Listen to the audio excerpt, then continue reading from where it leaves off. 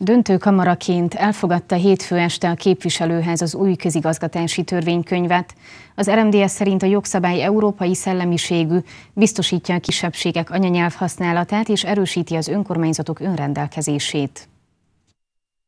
Az eredetileg beterjesztett változathoz képest a vita során a törvénykönyv szövege az RMDS szerint jelentős mértékben javult. A szövetség szakpolitikusainak munkája révén olyan előírásokat is tartalmaz, amelyek arra kötelezik Romániát, hogy számos nemzetközi egyezményben foglalt az ország által ratifikált nyelvhasználati jogokra vonatkozó rendelkezéseket gyakorlatba ültesse.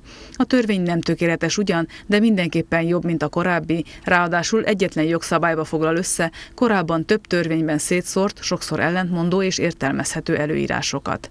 Erősebb decentralizátot is el tudtunk volna képzelni, vagy erősebb önkormányzati felelősségvállalás, de azt gondoljuk, hogy olyan törvény született, amelyben az önkormányzatok ténylegesen önkormányzatként működtetik a helyi településeiket, ahol az állami beavatkozás kisebb, mint eddig volt. Fontos előírás például, hogy az új közigazgatási törvénykönyv hatályba lépése előtti időszakban érvényes jogszabályok által előírt anyanyelvhasználati jogokat nem lehet visszavonni.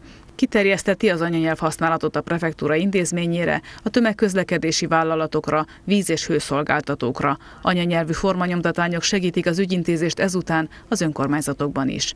Ott is lehet alkalmazni a kisebbségi jogokat, ahol a kisebbség aránya nem érje el a 20%-ot, ha így dönt az önkormányzat. A törvénykönyv hatályba lépéséhez elvileg már csak az államfő aláírására van szükség, de két ellenzéki párt is jelezte, előzetes normakontrollt fog kérni.